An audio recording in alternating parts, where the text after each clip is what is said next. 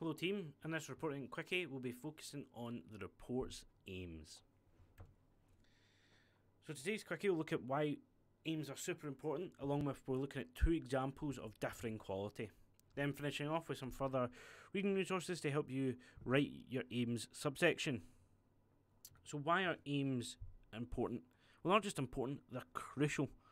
They help establish the report's direction, depth and scope. And they have a lot to do with a little really time to do it. They shouldn't be long, they shouldn't be too short. They're about a paragraph or so long, and it's really important that you get it right.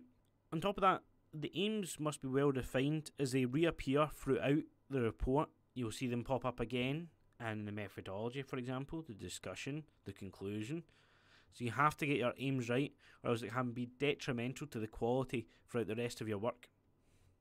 The aims actually matter when it comes to what you say in them. The words and the language that you say kind of dictate what the overall report is going to take shape as. So you have to make sure that you, if it's a comparison between two types of uh, scanners, that you say it's a comparison. If you're going to say evaluation, then I'd want to see an evaluation. If you're going to do some uh, designing, I'd want to see something design you have to make sure that you're explicit and that you are really saying what it's actually going to be.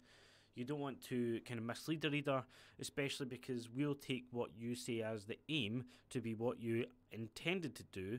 And if you end up not doing what you intended to do in the aim, we'll think that you either um, messed up when it came to not being able to finish it on time, or you weren't actually technically uh, knowledgeable enough to do as you set out to do. Um, the aim is a kind of the Bible in that kind of sense that we'll take that word as gospel, and what else is in the report has got to go along with that. You can't have any inconsistency. You, can't have any inconsistencies there. Unlike the introduction, aims are much more explicit in the marking rubric. Hallelujah. Criteria include precise definition, beneficial formatting, and realistic goals.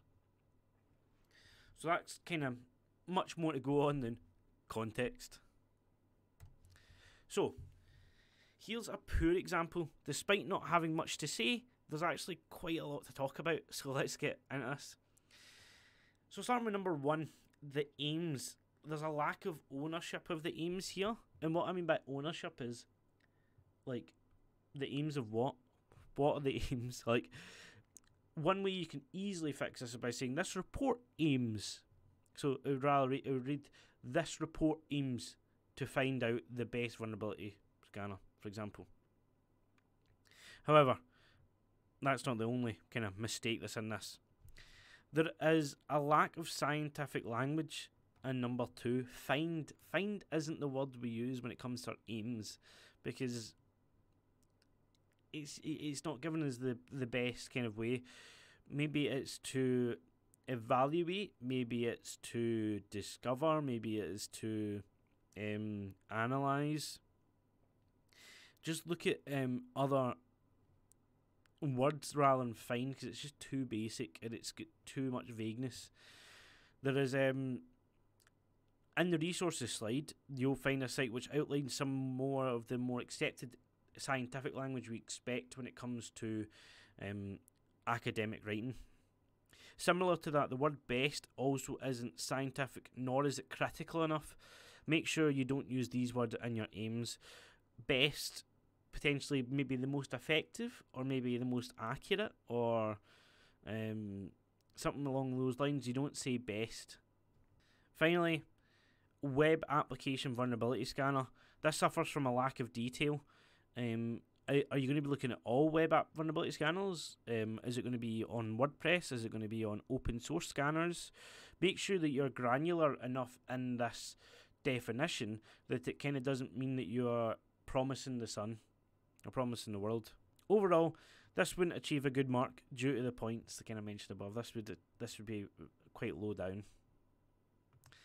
Now we have a decent example. There's much more going on here, but there's still quite a bit that, that could be use some work.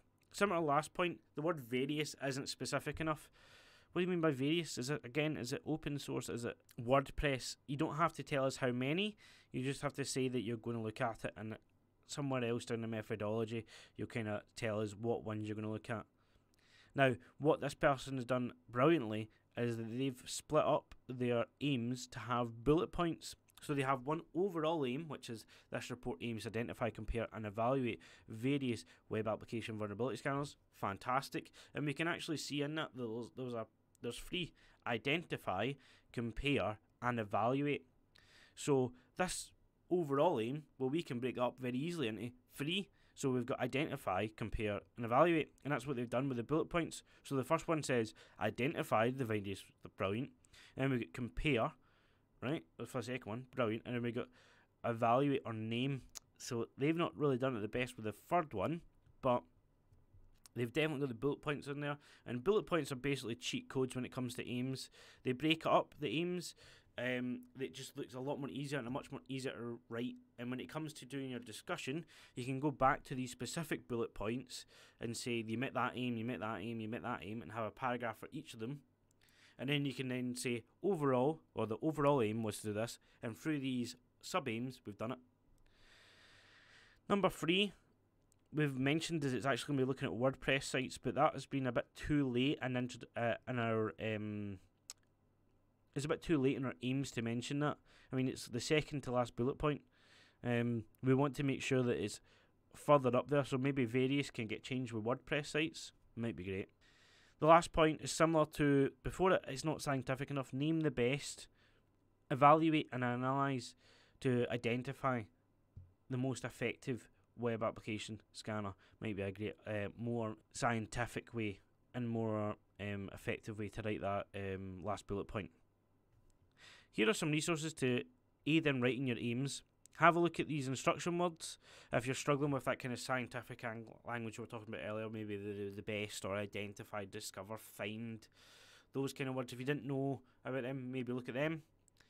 Again, I would recommend Phrasebank excessively for this but It's very good for getting that big kind of overall aim, as well as how you could maybe start structuring your, your sub aims.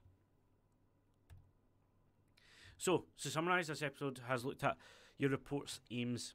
From the exemplars, we've seen some common mistakes as well as some good practice, which you can learn from. And with a lot of further reading, you can improve your aims to secure a good mark. And with that, this episode is over, and I hope you enjoyed it, and good luck.